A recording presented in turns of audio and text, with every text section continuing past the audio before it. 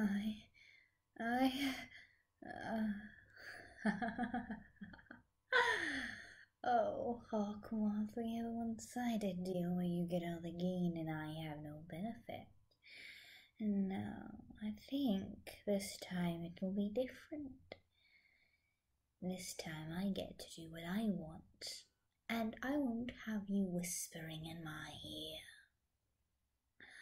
After all, this pretty little butterfly doesn't need the antennas to hear or receive signals from you.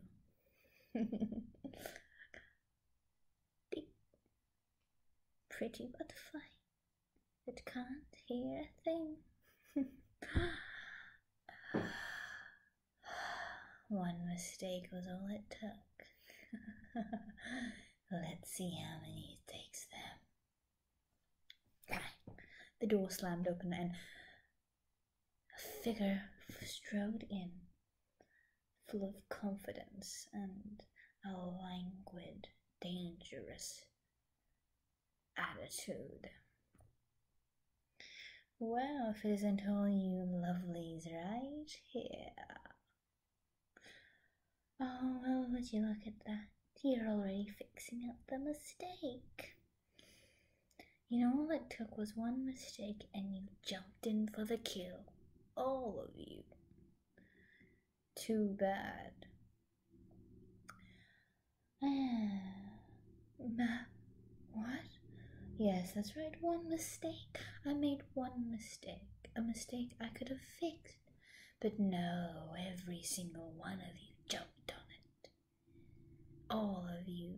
Chloe, you I would expect, but Adrien, Alya Nino, Max, Alex, Kim, all of you jumped on me. well, I have to thank you because if you hadn't, I wouldn't have my lovely abilities that I do now. Marinette? Alya asked in shock. Hello, little girl. Marinette, this, this isn't you, shouted Adrien. Oh, handsome boy, but it is. It's always been me. And to think I had a crush on you. Boop. She tapped her finger on his nose. Careful, otherwise, if you play too close, if you play with fire, you're going to get burned. Well, it seems I've paid my hellos. I think it's time to see how Paris takes me.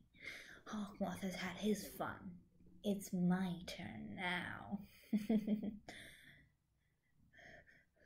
Who are you?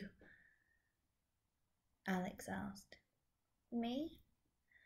Why, that's a very good question. I haven't quite got the name yet. Oh, I know. I know a perfect name.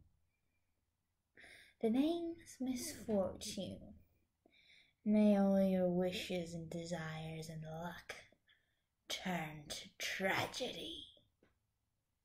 And with that, Marinette disappeared in a flash of light, her laugh echoing in the classroom. Such fun to be had.